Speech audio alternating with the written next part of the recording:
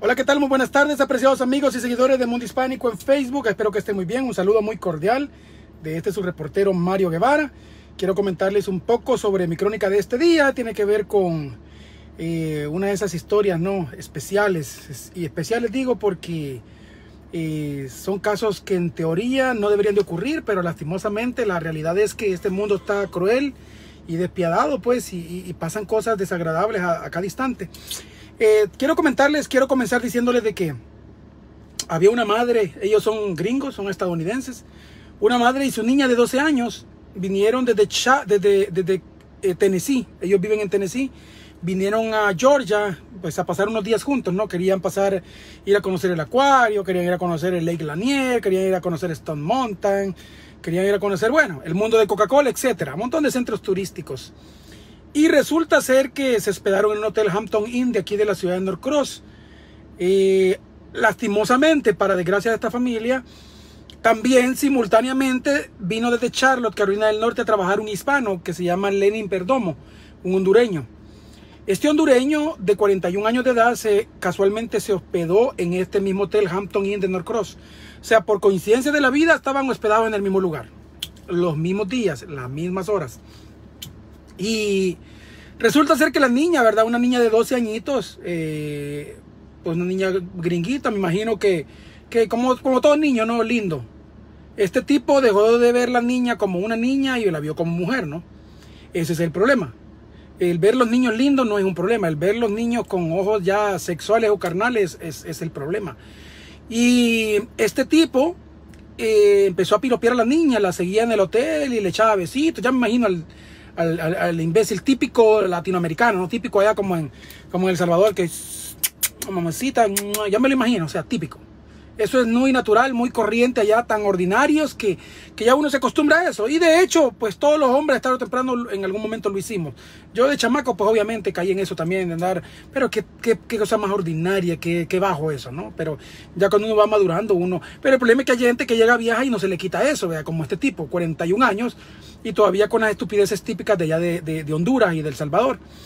Y viene el individuo, empezó a cuentearse a la niña, a piropearse, le tiraba besitos, la chamaquita lo ignoró eh, es una niña, realmente no es ni una mujercita, es una niña, 12 añitos. Y, viene, ¿verdad? Eh, después tres veces se lo encontró y las tres veces el tipo la estuvo acosando, besando, tirándole besitos y todo. Un día la mamá mandó a la niña a traer toallas, se les acabaron las toallas en el cuarto, bajó la niña, llegó ni siquiera alcanzó a llegar a la recepción, iba para la recepción al primer piso cuando se encontró con Lenin. Y el tipo la empezó a, pues, a querer, a quererla cortejar. Y al final estaban cerca de un baño, un baño cerca de la piscina, y el tipo la metió al baño y la violó. Falta 10, 15 minutos de violación ahí. Cuando la mamá vio que habían pasado un ratito y la, niña no venía, la mamá bajó a buscarla. Y fue, se dio cuenta que en la recepción la niña nunca había llegado a pedir las toallas. Entonces empezó desesperada buscándolo el elevador, subió al tercer piso, al segundo piso, primer piso, la buscó por todos lados y nada. Hasta que de repente se encontró con un hispano que venía caminando el tipo, ¿verdad? Y lo dejó pasar. Cuando siguió esa misma ruta, encontró a la niña llorando. Y la niña le dijo que la acababan de violar, un tipo que acaba de salir de ahí. Entonces ella supuso que era el hispano, llamaron a la policía, llegaron las autoridades, vieron las cámaras de seguridad y vieron que el tipo en efecto había tenido contacto con ella, eh, un tipo mayor de edad, ella una niña. Entonces lo fueron a buscar, la, los, el hotel colaboró, les dijo en qué cuarto él estaba hospedado y llegaron a tocar la puerta, dijeron mantenimiento, dijeron la policía. el tipo abrió, y se le metieron los uniformados. le confiscaron su ropa y lo acusaron de violación, abuso sexual infantil, etc.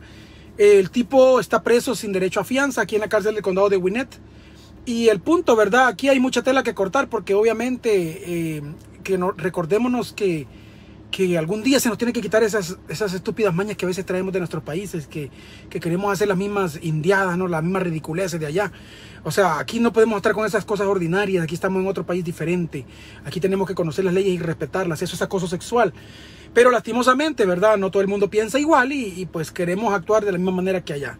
Así es que bueno, Lenin ya está pagando el precio, seguramente si lo hayan culpable va a pasar varios años en prisión, sobre todo le tomaron prueba de ADN a, él, a ella, a la niña y a él Y si encuentran rastros de ADN de él en la niña, se fregó porque eso lo, es condenatorio. Supuestamente dice la policía que él estuvo de acuerdo en hacerse las pruebas. Así es que a ver cómo termina todo, ¿verdad? Cuídense mucho, mi gente. Este es su amigo, su reportero Mario Guevara. Recuerden, lo veo primero aquí. Compartan este video. Hasta la próxima.